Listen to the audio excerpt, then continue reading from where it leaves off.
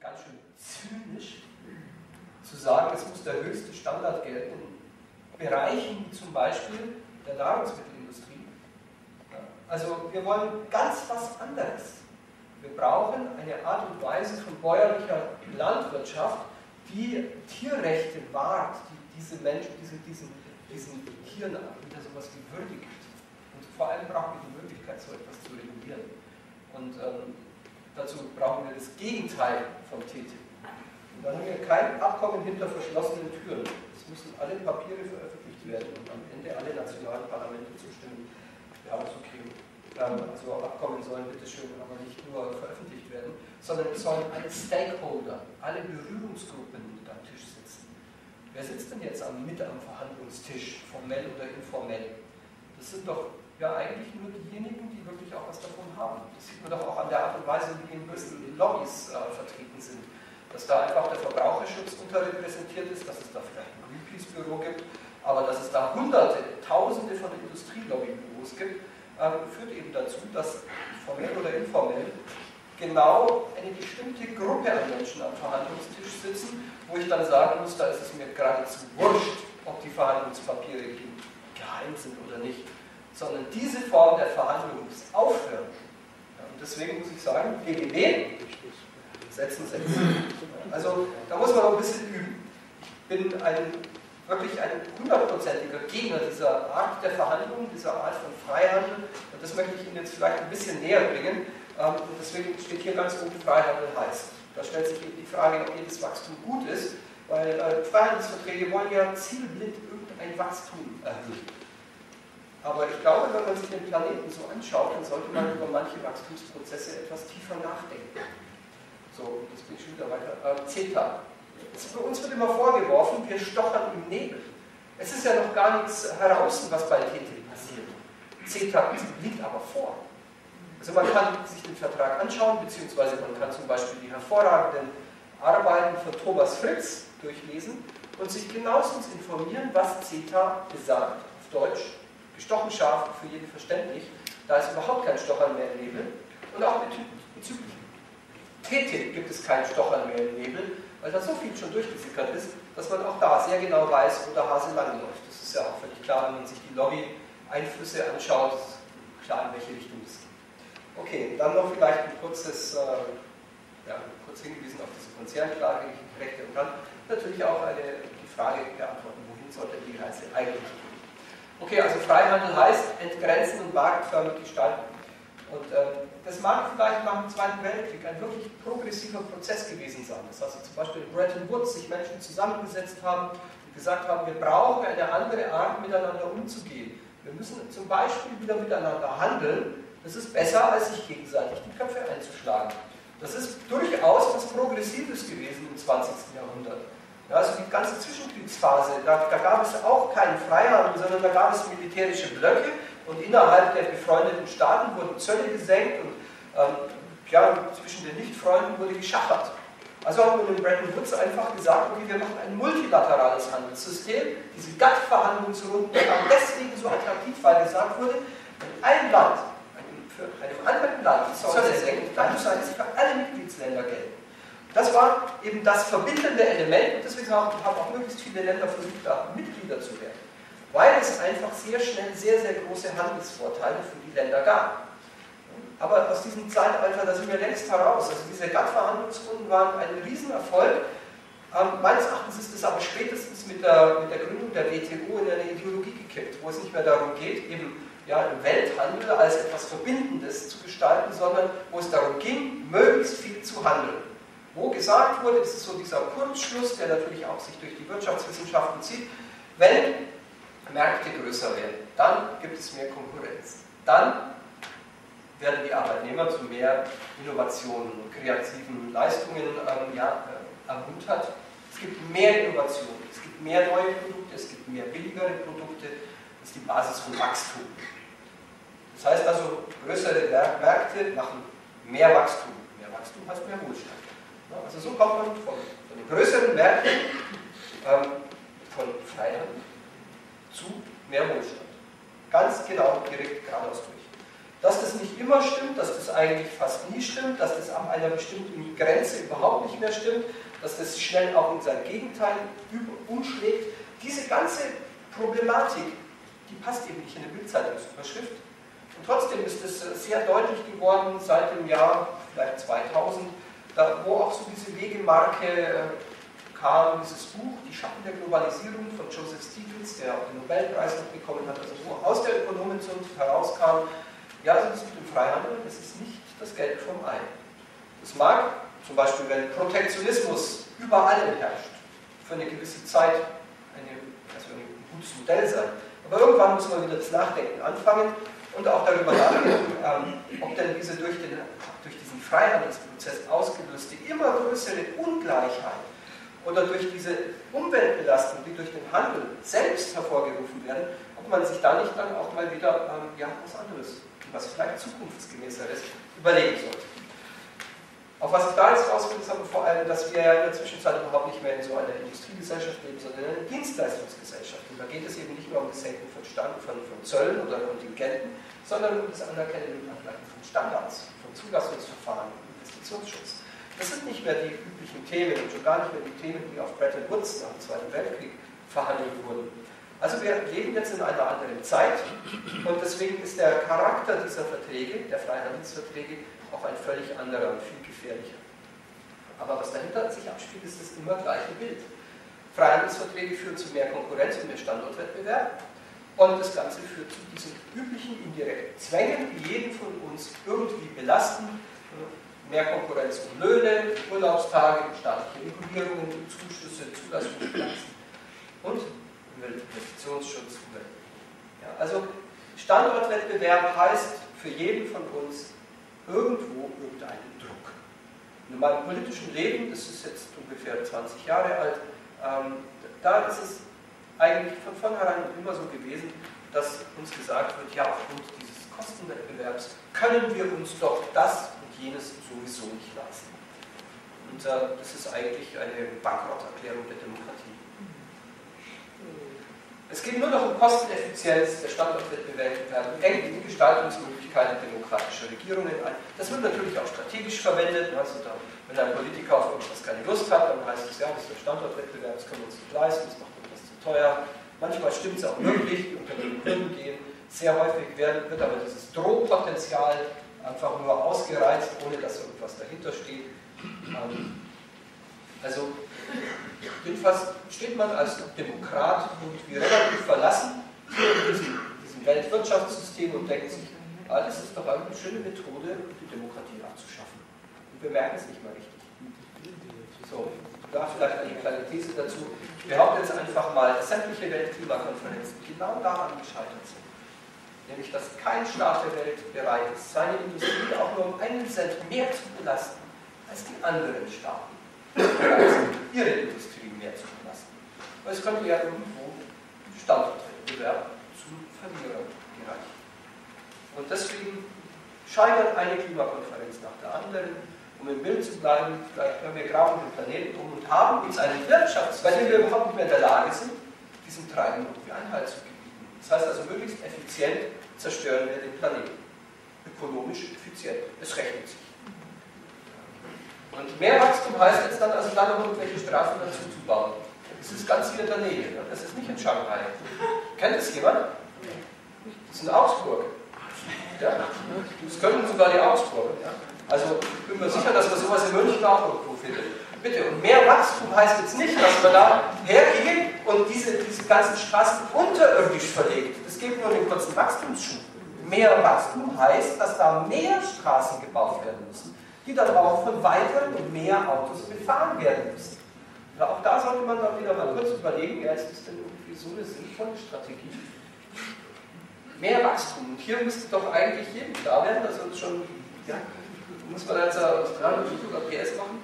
Oder müssen wir den aufblasen? Das ist bestimmt nicht gut. Vor allem ist ja das hier, das ist ja nur die Vorderseite. Ne? Die Rückseite, die schaut so aus, dass man dann in irgendwelche Gebirge tausend Meter reinbaut.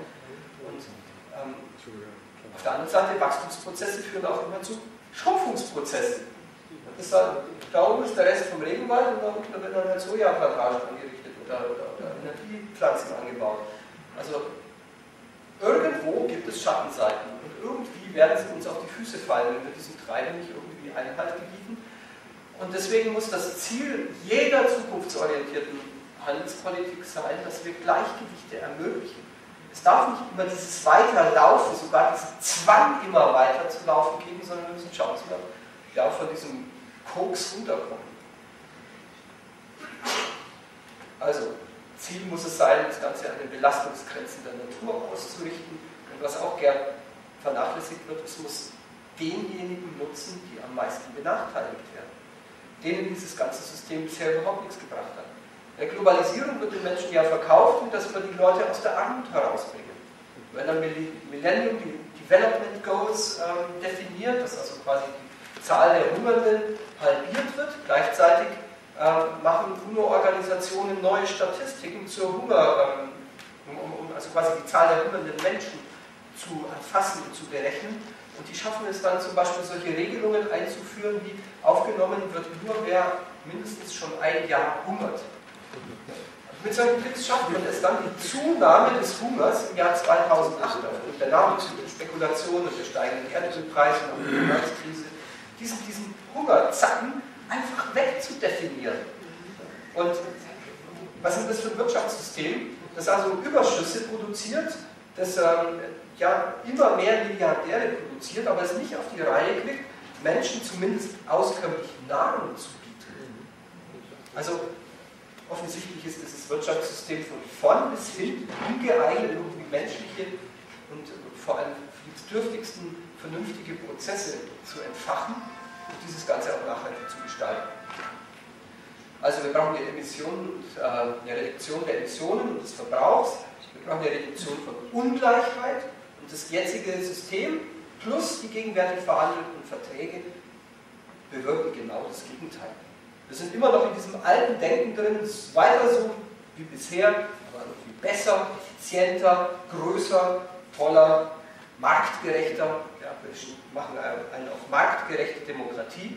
Und das ist so, ähm, ich denke mal, ähm, diese Antithetik-Bewegung, die jetzt gerade auch im Entstehen ist, das ist wirklich eine Politisierung, ein Riesenpolitisierungsprozess, der da durch äh, Deutschland und durch jetzt ja schon ein paar andere Länder aufschwappt der hat sehr viele Anknüpfungspunkte in Richtung Wachstumskritik. Und ich glaube, das ich, kann ich so ein bisschen darstellen, dass äh, wir mit diesem Wachstumspfad, so wie wir Wachstum heute verstehen, eigentlich nichts mehr zu gewinnen haben. Und äh, dass man mit TTIP, CETA und TISA nichts gewinnt, das kann man natürlich auch aus den Verträgen selber herauslesen. TTIP, CETA sind weitere Deregulierungsabkommen, mehr Standortwettbewerb. Das ist ja auch gewünscht von diesen Verträgen. Das heißt, mehr Kostendruck, Gestaltungsmöglichkeiten schrumpfen weiter, das Ganze führt zu noch mehr Demokratieabbau. Und das will ich nicht. Okay, also wir stochern nicht mehr im Nebel, wir schauen uns Beispiele aus CETA an, Marktöffnung für Fleisch und Hormonmast, das wird schon festgeschrieben, die Kontingente zum Beispiel bei Schweinefleischimporten aus Kanada, 75.000 Tonnen Rindfleischimport, äh, Schweinefleischimport, die Rinderkontingente werden sogar 20-fach. Die Bedingung war eben, damit die Kanadier das auch irgendwie ähm, positiv werden und uns auch dann eben in diesen Kuhhandelsverhandlungen äh, etwas geben, äh, war, dass wir ihnen Riesenkontingente geben. Sie haben einfach argumentiert, sonst, sonst rentiert sich das für kanadische Bauern nicht, hormonfreie Produktionslinien aufzubauen. Ja, also das ist genauso, der Standard ist genauso wie in den USA, da wird halt einfach Hormonfleisch hergestellt, aber zu uns darf nur hormonfreies Fleisch. Aber mir stellt sich schon irgendwie die Frage, haben wir nicht zu wenig Rind- und Schweinefleisch? Dann müssen wir das jetzt auch noch über den Atlantik transportieren. Ein sehr intelligenter Ökonom hat mal gesagt, was die Holländer exportieren Käse in die USA, die Amerikaner exportieren Käse nach Holland. Warum tauschen sich einfach die Rezepte aus? Also für einen Nicht-Ökonomen ist es wahrscheinlich eine durchaus berechtigte Frage. Ein Ökonom kann es wahrscheinlich gar nicht denken. Man könnte es auch anders lösen. Wir lösen es dann so, dass wir unsere Landwirtschaft eben in direkte Konkurrenz setzen mit der Landwirtschaft in den USA und Kanada. Ähm, das ist so diese Feedlots-Haltung, also die haben ähm, wesentlich andere Stimmungen, auch die Stimmungen, die eben dazu führen, dass man Rindfleisch nochmal deutlich billiger herstellen kann als äh, bei uns. Ungefähr 100 Kilo Schlachtkörpergewicht bringen einem Farmer in den USA ähm, etwa 200, 220 Dollar und bei uns ungefähr 350 Euro. Und ähm, das ist ein kleiner Unterschied, da braucht man entweder eine Zollgrenze, eine Kontingentgrenze, zurzeit gibt es beides, oder ähm, wenn wir diese Landwirtschaft hier reinlassen, dann machen wir einen Wachstumsprozess. Wir beschleunigen das Stärken der Höfe. In den letzten zehn Jahren haben ungefähr 80 Prozent aller Schweinezüchter aufgegeben. Und die 20 Prozent, die übrig geblieben sind, die produzieren jetzt wahrscheinlich doppelt so viel. Also ich weiß den genauen Zuwachs nicht, aber wesentlich mehr. Ähm, dann ja Feedlotshaltung. Schätzen Sie mal, wie, viel, wie viele Kühe, wie viele Rinder stehen in den größten Feedlots in den USA für einen Platz?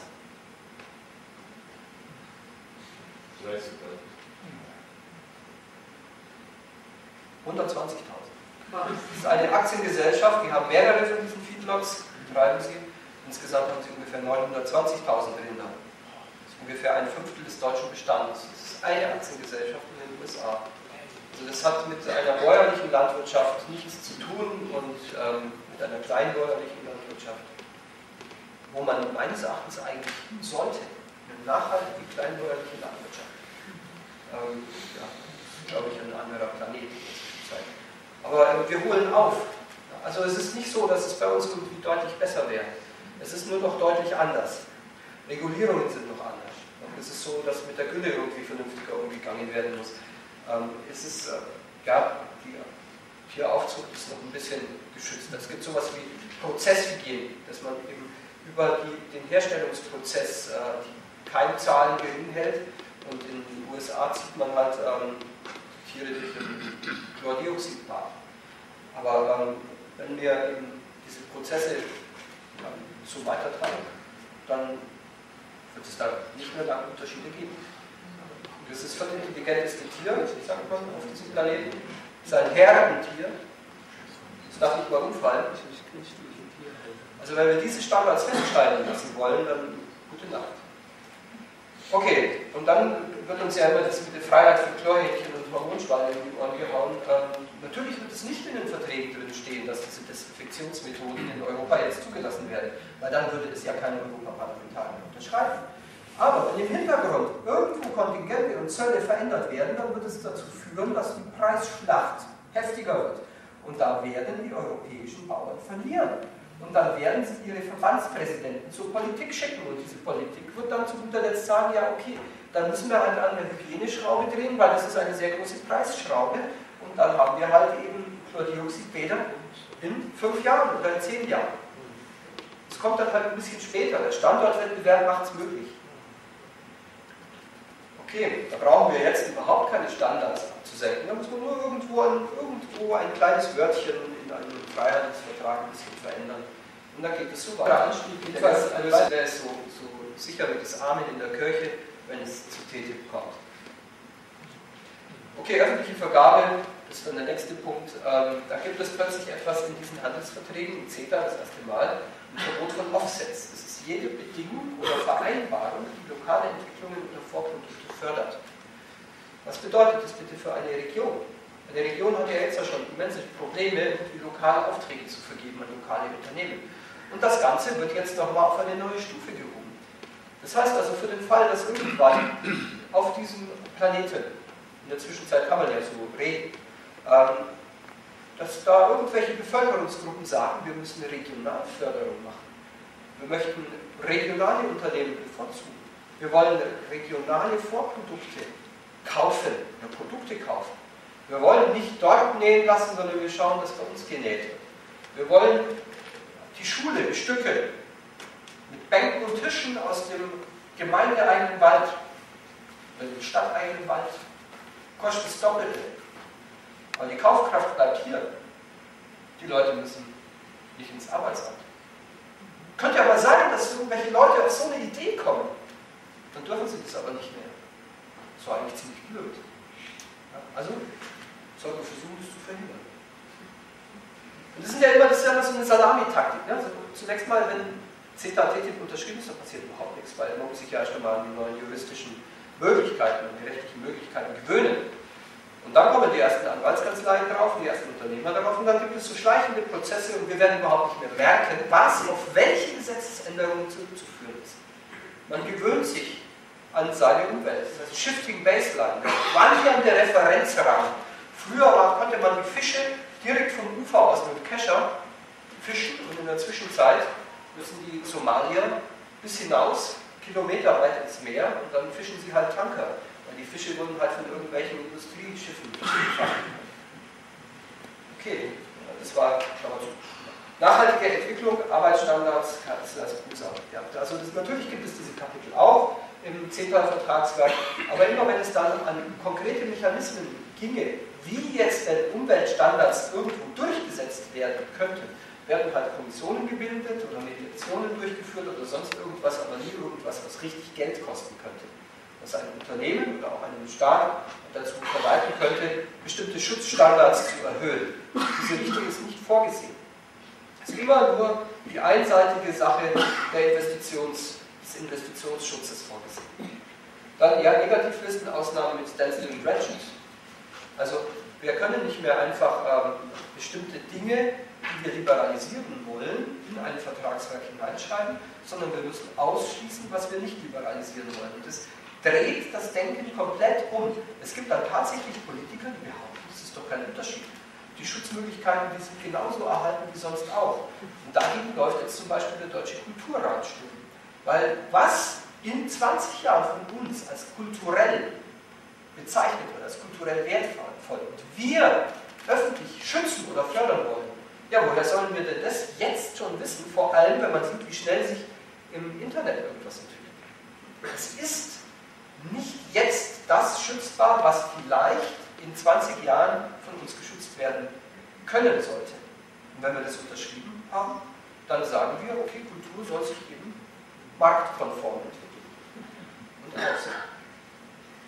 Also das ist ähm, ein anderes Denken. Das ist Stansted und Ratchet, ich habe nur zwei Beispiele. Unter öffentliche Dienstleistung genau dasselbe wie im Kulturbereich. Die Ausnahmeliste muss unvollständig sein, weil Zukünftiges fehlt. Aber es ist auch die Gegenwart unvollständig. Energiedienstleistungen sind nicht ausgenommen. Volkshochschule.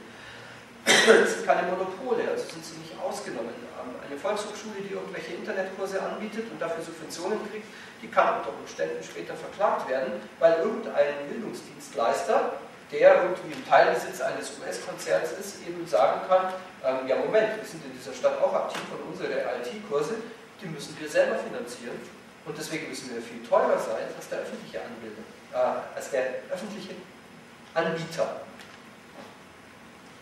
Okay, dann Rekommunalisierungen sind unmöglich. Das, das nächste, wenn man eben sowas wie ein Standstill hat, da darf hinter einen bestimmten einen Grad an Vertragskonformität das heißt, man hat jetzt eine bestimmte Struktur, da hat man bestimmte öffentliche Dienstleistungen, teilöffentliche und private Dienstleistungen und man kann durch die Standstill-Klausel nicht sagen, wenn wir jetzt zum Beispiel in Deutschland eben die Beteiligung privater Wasserunternehmen erlauben, dass man dann sagt, okay, das wollen wir verändern. Wir wollen, dass so etwas nicht mehr möglich ist. Es könnte ja sein, dass zum Beispiel in 20 Jahren mal eine Partei gewählt wird, die sagt, öffentliche Wasserdienstleistungen müssen immer in öffentlicher Hand sein. Also auch das ist wieder so ähm, ein Problem. Das, kann, das Problem kann viel weiter gehen. Es kann eben schon sein, dass auch wenn eine Kommune nur eine Lizenz nicht mehr verlängern möchte und diese eben in irgendeiner Form einfach äh, sich selbst wieder übergibt, dass sie schon dann verklagt werden kann, zumindest mit Klagen gedroht wird und deswegen die Kommune erst gar nicht versucht, wieder ja, eine öffentliche Dienstleistung, die sie mal privatisiert hat, wieder in eigene Hand zu holen. Es wird wahrscheinlich nicht verunmöglicht werden, aber es wird wieder ein bisschen erschwert werden. Joint Management Komitee, also da haben wir das mit diesem Regulierungsrat. Es könnte passieren, dass wir ähm, auch bei TTIP jetzt eine, leere, eine relativ leere Hülle unterschreiben, in der nicht viel drinsteht, aber in der ein paar Gremien geschaffen werden, die dafür zu sorgen haben, dass sich die Regulierung, die Regulierung zwischen den USA und Europa bei neuen Gesetzen nach Gesetzesänderungen annähern. Jetzt haben wir, machen wir eine Momentaufnahme und irgendwann wird zum Beispiel die Pestizidzulassungsvorschrift geändert werden von der EU-Kommission. Dann könnte es sein, dass diese Pestizidverordnung eben erst an bestimmte Handelsexperten übergeben wird und an, an ein Technokratengremium und dort wird dann geguckt, ob das denn jetzt näher an der US-amerikanischen Praxis ist. Und wenn sie das ist, dann darf es so ein Gesetz geben sonst nicht. Also das heißt eben regulatorische Kooperation und die, der ehemalige Handelsminister De Gucht, der war aber ganz besonders stolz darauf, auch dieses Freihandelsabkommen als ein Living Agreement, als ein lebendes Abkommen zu bezeichnen, das erst so richtig losläuft, wenn es dann mal unterschrieben ist. Also das ist meines Erachtens auch eine der zentralen Fall, Demokratiefall, die von diesem Handelsabkommen. Okay, TTIP ist auch kein Stochern im Nebel, Wachstumsversprechen, das ging ja jetzt viel durch die Presse, aber ich bin äh, Physiker und deswegen mache ich das eigentlich immer sehr gern, diese Folie, ähm, weil das, diese Zahlenspielereien, die da ähm, ja, durch die Presse waberten, die, die waren einfach belustigend. Und äh, sagen wir mal so, wenn es nicht so traurig wäre, wäre es belustigend. Ja, also wir kriegen 545 Euro pro Vier-Personen-Haushalt im Jahr mehr über 14 Jahre verteilt sind es 1,5 Promille ähm, pro Jahr. Da hat also jede Wechselkursänderung einen größeren Einfluss und ähm, wenn das Rohöl 20, 30 Prozent teurer wird auch. Ähm, also dieses, diese Zahlen sind so mickrig und diese Studien sind hochoffiziell. Das ist ja jetzt nicht eine Studie von Gegnern. Man könnte ja unterstellen, wäre jetzt irgendwie TTIP-Gegner, die versuchen, die Effekte niedrig zu rechnen. Aber es ist ja genau andersrum. Zentrum ist eine, ist eine Forschungsinstitution, die wurde beauftragt von der EU-Kommission, irgendwie die Effekte von TTIP herzurechnen. Und dann kommt sowas raus. Ja, also eigentlich kann uns ja nichts Besseres passieren, aber die, was macht ein Journalist? Der nimmt sich die groß aussehende Zahl 555 Euro und schreibt die überall hin. Und dann hat man eine bestimmte Art von Meinung gemacht. Besser fand ich noch die IFO-Studie, USA, 70.000 Arbeitsplätze, Deutschland 25.000 Arbeitsplätze, Felbermeier ist der Autor, ein paar Monate später, glaube ich, kommt die Bertelsmann-Studie, die kommen dann auf 1,1 Millionen ähm, Arbeitsplätze in Deutschland, 180.000. Und dann ähm, kriegt man eigentlich große Augen. Das ist quasi ähm, zwei Studien werden da herausgegeben und die Ergebnisse weichen um den Faktor 15 ab. Das soll man mal vorstellen, wenn das Klimamodellierer machen würden. Die also quasi das Wetter in 30 Jahren prognostizieren würden, wenn die also sowas machen würden glaube, dann werden sie irgendwo auf Steilzeitniveau mit ihren Computermodellen. Aber es kann natürlich auch sein, dass hier bei diesen Modellen ähm, ja irgendwie ein bisschen getrickst wurde, um da vielleicht auch größere Effekte hinzukriegen. Jedenfalls, ähm, das kann nicht irgendwie stabil sein, so eine Aussage. Das ist klar. Das eine Ergebnis, da muss man irgendwie eine Fehlertoleranz angeben, plus minus etwas, muss irgendwie das andere Ergebnis widerstehen halten, nicht sortieren. Ja, ganz wichtig ist natürlich noch, dass der Autor dasselbe ist. ja, und, und, ja, also meine, ich habe ja auch dem Herrn Felbermeier bei einer Veranstaltung mal dieses Bild äh, gesagt. Also ähm, ein Physiker zum Beispiel, der macht ja immer so fortgeschrittene Praktikas und dann hat er so ein lauwarmes Glas Wasser und hält da ein Thermometer rein und liest das so ab. 38,1 Grad. Dann nimmt er Digitalthermometer und hält es also 10 Sekunden später in das Wasser rein. Also 81,5 Grad.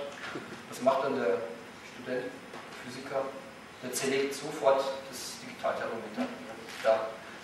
Und was macht der Volkswirt, der, der Wissenschaftler hier? Schreibt eine Veröffentlichung. ja, ähm,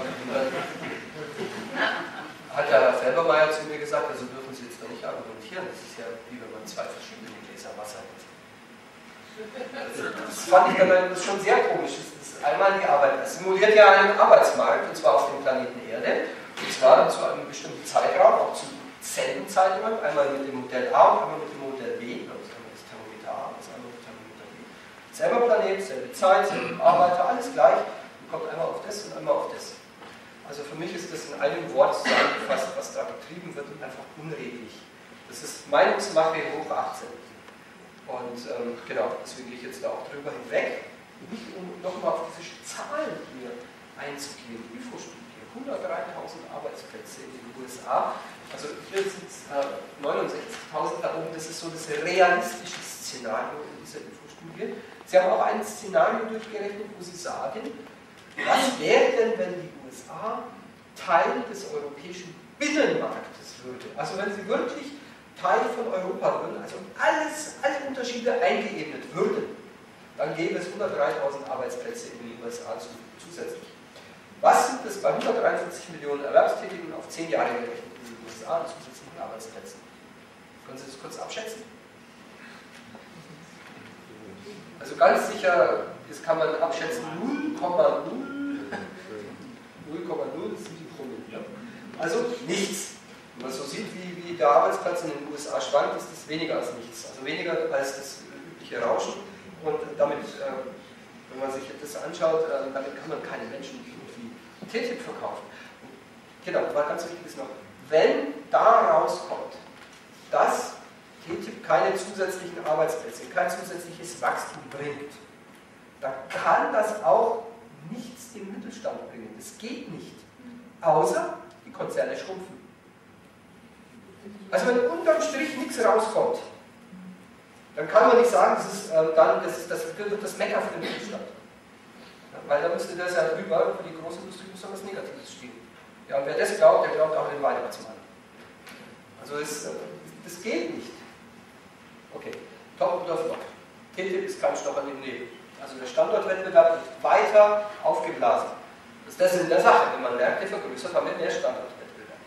Die ökologischen Folgen des Handels. Ich habe hier mal diese 1 zu 26.000 noch hingeschrieben. Also einer dieser großen Frachter, der haut so viel CO2 raus wie eine Stadt mit 26.000 Einwohnern.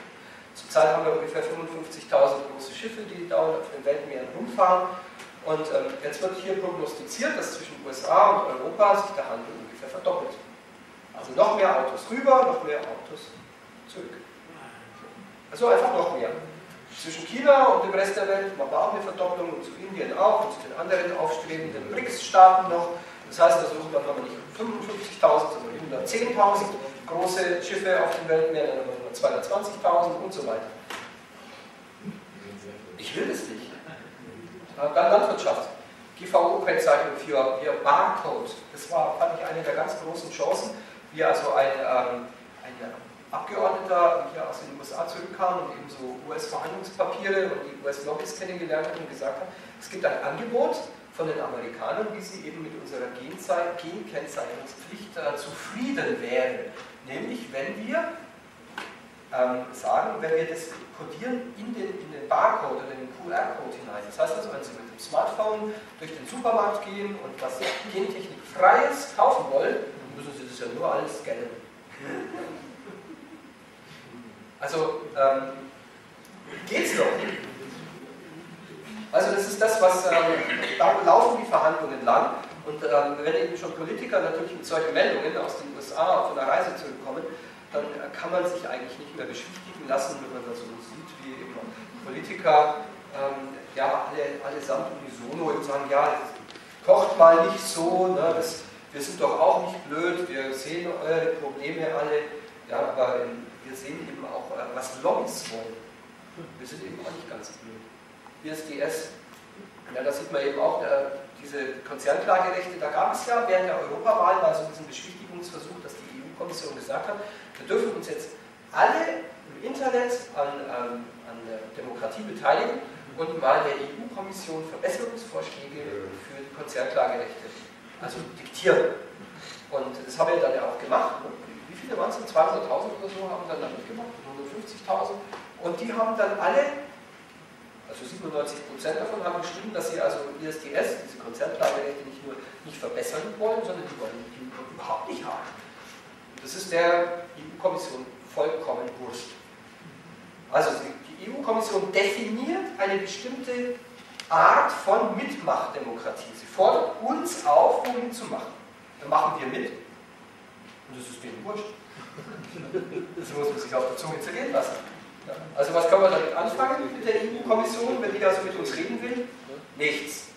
Weder brauchen wir mit der EU-Kommission reden, noch können wir auf sie hören sondern wir können einfach nur Basisarbeit machen, dass unsere Politiker dem nicht zustimmen. Ja, die EU-Kommission ist seit diesem Fall einfach draußen. Jede Publikation alles vergessen und an der Pfeife rauchen. Es ist schön, wenn Sie ein paar Verhandlungsdokumente ins Netz stellen, aber ansonsten ist es wesentlich wichtiger, dass gute Bekannte uns ja, interne Dokumente zuspielen. Und Gott sei Dank gibt es in der Zwischenzeit sogar Teilnehmer an den Verhandlungen, die diese Verhandlungen einfach nicht mehr gut finden. Ja, das okay. Schiedsgerichte für alles Mögliche, ja, das, das mit diesen, ich vorhin schon erzählt, diesen Hinterzimmerentscheidungen, ähm, das ist so irgendwie eine, eine Art von Veränderung der Demokratie, ähm, die, man hat das alles abgeschafft oder klein gehalten aus guten Gründen und plötzlich ähm, geht man immer mehr in Hinterzimmer. Was ist denn diese Ursache der Geheimniskrämerei? Im Prinzip doch, dass ähm, immer dann, wenn zu viel ans Licht kam von dem, was unsere Gestaltungseliten so wollen, ähm, dass es dann geplatzt ist. Angefangen 1997 mit dem MAI, diesem multilateralen Abkommen über Investitionssicherung. Es kam raus, dass äh, Hollywood im Prinzip dann die französische Kulturindustrie schlucken können, dürfen muss. Ähm, die Franzosen gesagt, da machen nicht mit. Und damit ist das ganze Verfahren, das ganze, ganze Prozess gekippt. Dann haben wir zum Beispiel die Bolkestein-Richtlinie, ist komplett verbessert worden durch Bürgerengagement. Ähm, dann hatten wir zuletzt ACTA, 2012, Februar, ähm, bestimmt haben einige hier im Saal auch mitgefroren, hm. weil die großen Demonstrationen von Polen ausgehen übrigens. Da hat sich das EU-Parlament einfach dagegen entschieden und gesagt, das machen wir nicht mit. Und dann war ACTA tot. Und genau dasselbe ist hoffe ich natürlich auch für DIT. Über öffentliche Dienste wird verhandelt, das weiß ich in der Zwischenzeit auch wieder. Das steht nun mal so auch im ähm, Mandat drin. Über öffentliche Dienste wird genau dann nicht verhandelt, wenn sie ausschließlich aus öffentlicher Gewalt äh, getätigt werden. Und es sind genügend Sachen, sind privatisiert und teilprivatisiert. Und deswegen ähm, ist es nun mal ja, Verhandlungsmasse. Die Ausnahmen sind auch grob unterschiedlich. Ja, also im CETA ist Wasser an, auf vielen Ebenen ausgenommen, aber bereits die Abwasserentsorgung, die Müllversorgung, ähm, Stadtwerke, also die Energiedienstleister, die kommunalen, die sind dann unter einigen Umständen überhaupt nicht mehr ausgenommen. Dann Vorsorgeprinzip versus Sound Science. Ich hoffe, ich rede nicht schon zu lang. Ja, ein bisschen langsam. Ein bisschen langsam. Okay. Äh, Sound Science in den USA gibt es ähm, gerade im Bereich der Chemikalien die Herangehensweise, dass alles erlaubt ist, was nicht schädlich ist. Und den Schaden hat äh, die öffentliche Hand nachzuweisen. Und ähm, diese Behörde dahinter, EFSA, die, die hat ähm, zuletzt äh, Trichlortinen ähm, als schädlich äh, gebrandmarkt. Das war der erste, die erste Chemikalie seit 28 Jahren, die für schädlich gebrandmarkt wurde. Vor 28 Jahren es Asbest. Haben sie gesagt, es ist schädlich. Das Problem war, dass sie daraufhin von der Asbestindustrie verklagt worden sind und somit gibt es dort immer noch sehr viele Baumaterialien, die asbesthaltig sind, weil so eben die, die, äh, die Umwelt, die EPA, diese Umweltschutzbehörde, muss halt eben auch nachweisen, dass ähm, dann, wenn eine Chemikalie in den USA verboten wird, ähm, das Verbot billiger ist als das Nichtverbot. Und ähm, das ist ziemlich schwierig. Ja, was ist der Wert eines Lebens? Also und so weiter. Jedenfalls ähm, ist dieses, dass etwas absolut wissenschaftlich bewiesen sein muss, wenn ein Unternehmer dann etwas nicht mehr tun darf, eine vollkommen andere Philosophie als in Europa, wo es zum Beispiel REACH gibt, eben diese Chemikalienrichtlinie, wo ähm, ja, eben inzwischen ein riesen Stock an Chemikalien bewertet ist, ähm, auf deren Giftigkeit, von dem natürlich auch die US-Unternehmer riesige Vorteile haben, von diesem riesen Datenbestand. Und dieses REACH, das lässt sich nicht irgendwie vereinheitlichen, also dieses Vorsorgeprinzip, vorsorglich, bevor etwas passiert ist, muss ein europäischer Unternehmer Chemikalien, die er verwendet, klassifizieren die er neu herstellt, bewerten, Risiko bewerten. Und das, das lässt sich nicht vereinheitlichen, das lässt sich nicht gegenseitig anerkennen, sondern das sind zwei vollkommen verschiedene Systeme. Und wenn man dieses Vorsorgeprinzip, wie wir es haben, weiter haben möchte, also dass zum Beispiel die EU-Kommission vorsorglich Bisphenol A aus äh, diesen Babysaugnäpfen ähm, verbannt zum Beispiel, ähm, was in den USA einfach nicht möglich ist, weil die Datenlage damals, vielleicht vor fünf Jahren, äh, nicht eindeutig gesichert war. Ähm, der, der, muss schauen, dass wir hier dieses europäische Vorsorgesystem auch, ja, uns erhalten. Eigentlich, es wird ja auch hier in Europa immer mehr beschossen. Wir müssen es stärken und können das jetzt nicht noch irgendwie notdürftig festschreiben lassen, sondern es muss verbessert werden. Vor allem im Hinblick auf ökologische Nachhaltigkeit. Das, was wir jetzt an CO2 rausblasen, das wird in vielleicht 40, 50 Jahren klimawirksam. Also das ist eine Herausforderung, jetzt das CO2 zu reduzieren, damit der Klimawandel in 40 Jahren reduziert wird. Das heißt Vorsorgeprinzip. Und dieses Denken müssen wir verstärken und verbessern. Ja, und dann Lobbyismus, das sieht man hier meines Erachtens am allerschönsten. Ähm, die Campact hat mal gezählt, 560 Lobbykontakte in, glaube ich, einem eineinhalb Jahreszeitraum. Ähm, davon waren 4% gemeinwohlorientiert, 92% bei der Privatwirtschaft. Ähm, davon 113 Gespräche mit äh, internationalen Lebensmittelkonzernen, Agrarhändlern und Saatgutherstellern. Und wenn wir gegen diese Übermacht unsere Lebensmittelstandards festschreiben können, und da sollten wir vielleicht nicht doch darauf drängen, dass TTIP komplett stirbt. Okay, ähm, jetzt wäre zum Beispiel vielleicht ein kleiner Schnitt mal möglich, weil, genau. Das Ziel der Reise ist nicht weit von der Passagier. Ich auch, dass das ein völlig neues Phänomen ist, dass äh, eben Konzerne Staaten verklagen können. Angefangen wurde das zwar schon äh, vor vielen Jahrzehnten, äh, und zwar zwischen Industriestaaten und Entwicklungsländern, ähm, weil eben Konzerne aus Industriestaaten in Entwicklungsländern äh, investiert haben, Sicherheiten wollten und die Staaten eben da nicht gleich immer Ausfallwirtschaften übernehmen wollten, sondern eben den Entwicklungsländern diktiert haben, wenn ihr unsere Investitionen wollt, dann unterschreibt bitte ein Investitionsschutzabkommen.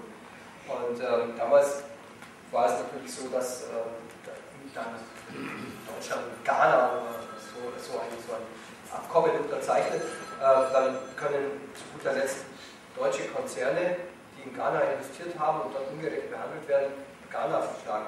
Aber bitte, wie viele ghanaische Konzerne äh, haben denn in Deutschland investiert und konnten bisher aus Deutschland verklagen. Deswegen äh, haben wir von diesem ganzen Prozess nichts gemerkt, aber der Prozess, der hat sich eben in der Zwischenzeit auch in die Schwellenländer hineingegraben äh, und immer öfter passiert es dann auch, dass auch ähm, eben in Schwellen- und Industriestaaten solche Klagen ähm, geschehen, vor allem in der Europäischen Union. Ähm, jetzt ist, glaube ich, gerade Litauen dran, ähm, dann auch Deutschland, der Zölker Vattenfall, das ist aber die andere Schiene, das ist der Energiechartervertrag. Also es kommt langsam auch bei uns an, dass äh, Staaten, und wir können einseitig von, von Konzernen über ein privates Schiedsgerichtswesen, ähm, obwohl es das schon länger gibt, äh, trotzdem ist TTIP eine neue Qualität, weil es ungefähr 50.000 äh, amerikanische Unternehmen in Europa gibt, die dann eben auch davon noch zusätzlich profitieren können. Es gibt jetzt ja nur einige Freihandelsabkommen zwischen USA und europäischen Staaten und eben nicht zum Beispiel auch das Ganze mit Deutschland.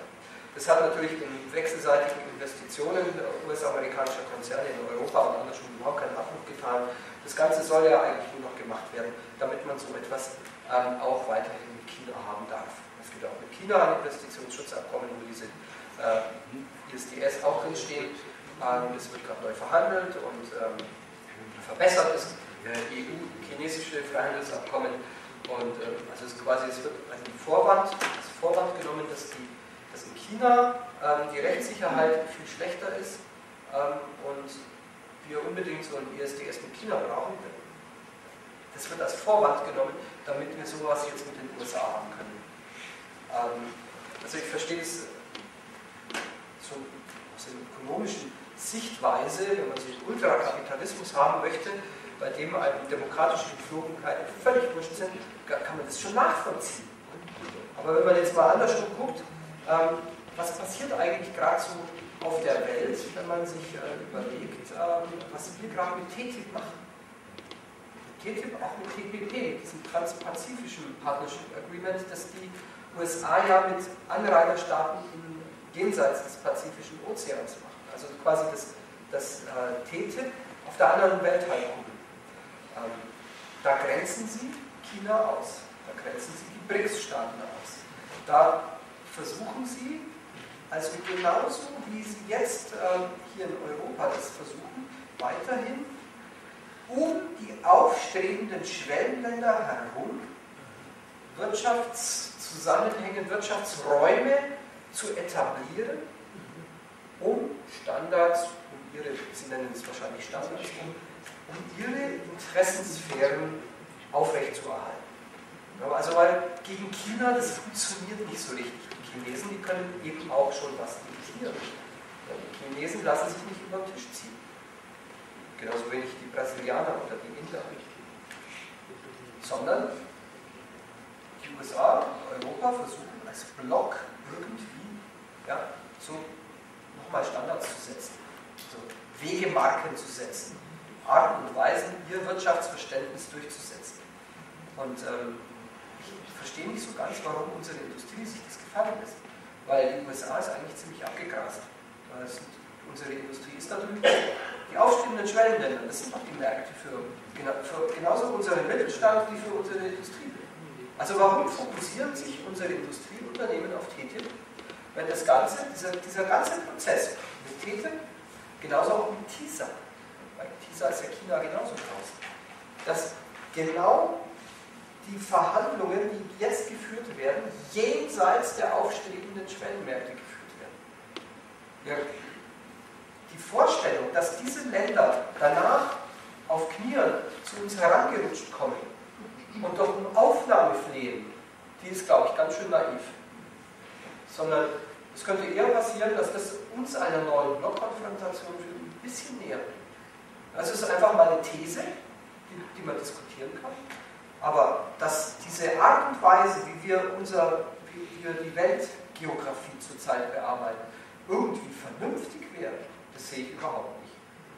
Und dass man eben jetzt mit China Freihandelsabkommen davon abhängig macht, wie man TTIP ausgestaltet, völliger Blödsinn. Also wenn, dann kann man auch Entwicklungshilfe leisten, um das, um das juristische System Chinas transparenter oder durchgängiger zu machen. Also, dass man sagt, okay, wir brauchen jetzt Konzernklagerechte überall auf der Welt, weil ähm, China ähm, das juristische System ähm, nicht so toll funktioniert, das ist ja irgendwie Firlefanz. Okay, aber jetzt zurück zu den, äh, zu den Schiedsverfahren überhaupt. Das, das ist sowas wie Ultraglobalisierung. Das bevorzugt einen ausländischen Konzern gegenüber einem näheren Konzern. Das ist das Prinzip, nur Unternehmen gleich behandelt werden. Ich finde das schon schlimm genug. Meines Erachtens gehören regionale Unternehmen bevorzugt. Schon allein aus ökologischen Gründen. Also sie werden nicht mehr nur gleich behandelt. Ein, ein Konzern, also BMW, kann jetzt im Gegensatz zu General Motors den amerikanischen Staat vor.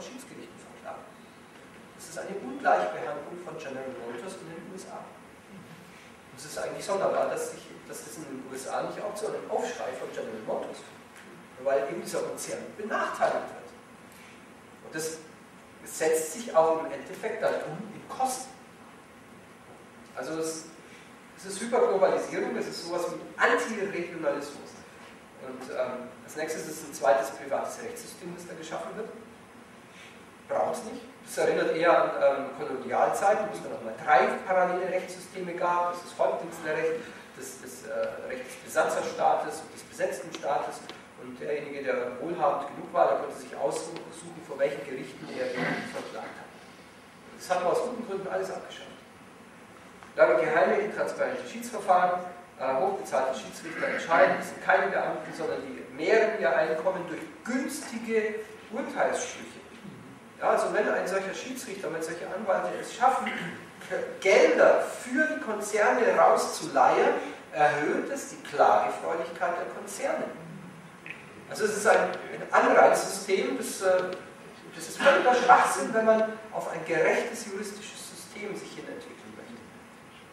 Keinerlei Rechenschaftspflicht oder Revisionsmöglichkeiten. Ähm, Schiedssprüche werden im Allgemeinen nicht öffentlich gemacht. Dann 58% aller bekannten Entscheidungen fallen zumindest teilweise im Sinne der Unternehmen aus. Also sonst wären sie ja nicht so häufig, diese Klagen. Anwälte wechseln die Seiten. Irrsinn. Kosten äh, sehr mittelstandsbezogen. Ne? Also für den Mittelstand gibt es natürlich überhaupt nichts bei solchen Kosten, die auch sehr schnell noch ähm, ja, auf 30 Millionen vorstellen können.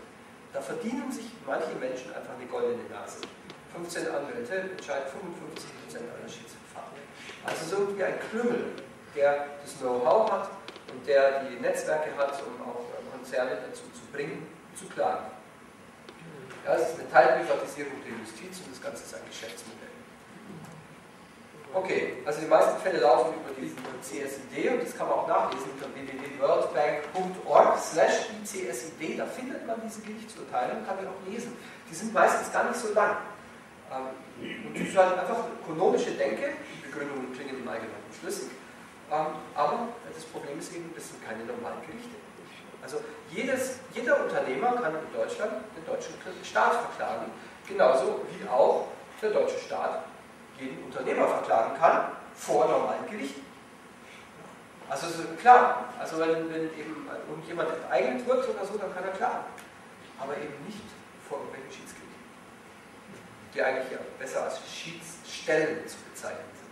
Dann Kohlekraftwerk Moorburg, Fukushima sind die bekanntesten äh, Fälle, also die, äh, wo, ein Vattenfall gegen Deutschland klagt, ich glaube, das müssen wir jetzt nicht ähm, hier auch noch besprechen. Philip Morris hat zwei Klagen laufen, einmal gegen Uruguay, einmal gegen ähm, Australien.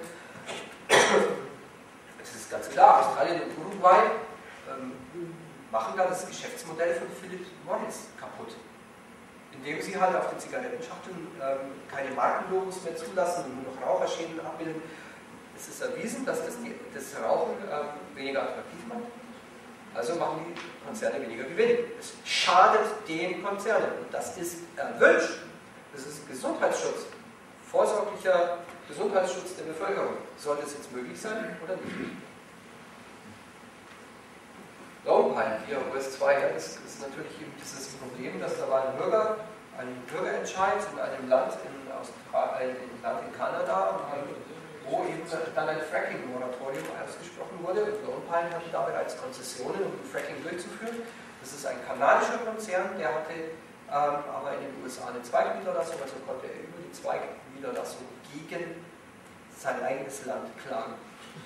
Das macht NAFTA möglich. Jetzt heißt es natürlich im TTIP und CETA, da sind gewisse Verbesserungen, auch Transparenzverbesserungen drin. Aber diese Transparenzverbesserungen, die sind natürlich, die stehen unter diesem Vorbehalt, dass da keine Geschäftsgeheimnisse drin sind, keine sind, dass da eben äh, Personalsachen diskutiert werden und so. Das heißt also, auch da gibt es wieder die Möglichkeit, diese ganzen Transparenzverpflichtungen zurückzuschrauben. Also ähm, es fehlt noch einiges, bis eben selbst diese windschiefen, also von vornherein abzulehnenden ähm, Schiedsstellen ja irgendwie auch tatsächlich transparent werden, öffentlich so wie eben eine, ein Gerichtsprozess in Deutschland öffentlich ist. Also TTIP weitet die Klagemöglichkeiten auf viele Sektoren für US-amerikanische Konzerne und Anwaltsfirmen aus. Und das ist, das, das, ist einfach was fundamental Neues, weil ähm, es sehr, sehr viele Unternehmen sind, die dann plötzlich klageberechtigt sind. In beide Richtungen. Und die Vernetzung ist nie so, dass es nur USA Richtung Europa ist, immer auch Europa Richtung USA. Das ist ähm, deswegen eine ganz wichtige Folie, wer ist da eigentlich wen. Das hat alles nichts mit irgendwelchen Ressentiments zu tun äh, zwischen verschiedenen Ländern und Kontinenten, sondern da geht es nur oben gegen unten.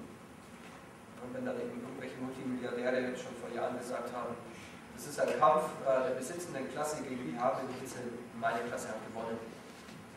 War das so ein großes Warren Buffett hat das so ungefähr gesagt. Ja. Und ähm, um nichts anderes geht es meines Erachtens bei diesem ganzen Projekt.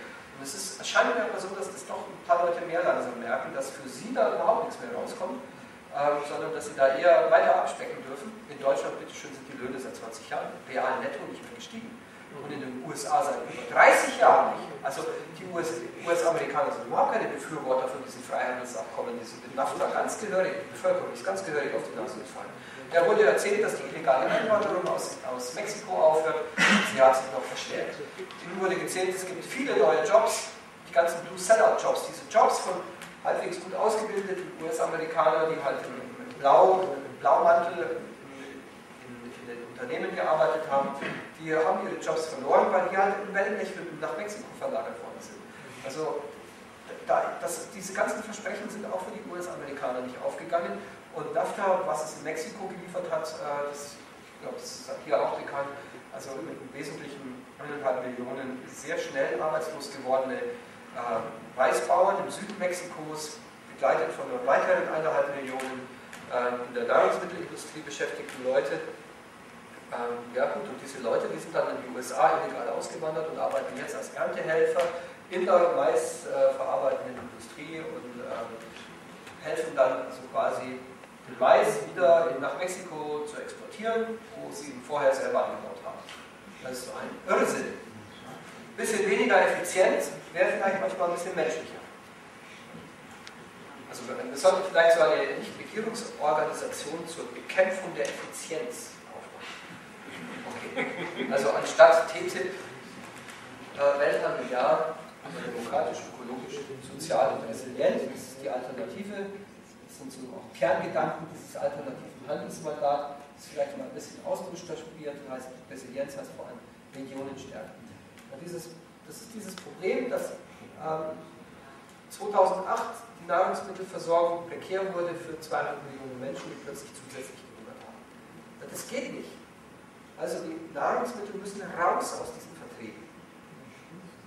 Die Nahrungsmittel müssen so lokal sein wie möglich. Dazu müssen die Regionen gestalten können.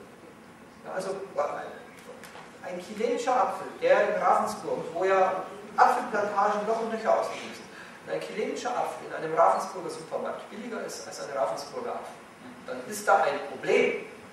Dann ist es nicht irgendwie effizient, sondern dann ist es Wahnsinn.